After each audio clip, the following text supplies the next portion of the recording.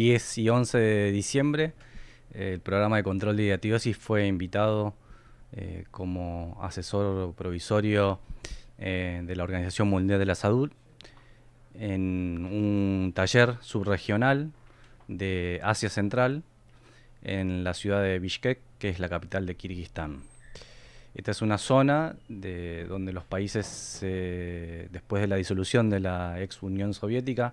eh, se independizaron y bueno, es una zona donde eh, tienen altas tasas de prevalencia, tanto en humanos como en animales, de esta enfermedad que para nosotros, bueno, ya tiene el programa 40 años de experiencia. Y bueno, nos convocaron para que transmitamos la experiencia de tantos años de trabajo y que tiene la virtud de ser un programa que más allá de que se mantuvo a través de los años, siempre fue innovador, fue incluyendo nuevas tecnologías,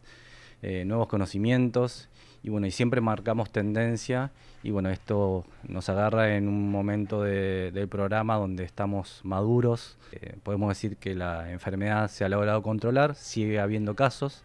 pero bueno, tenemos 0,1% de niños eh, que detectamos en las ecografías de campo.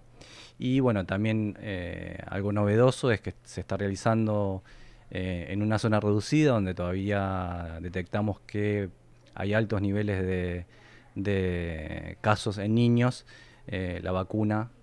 la EG95 contra, para vacunar corderos.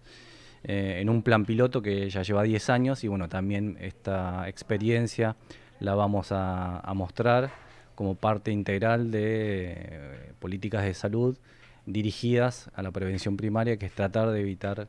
que eh, la gente se enferme.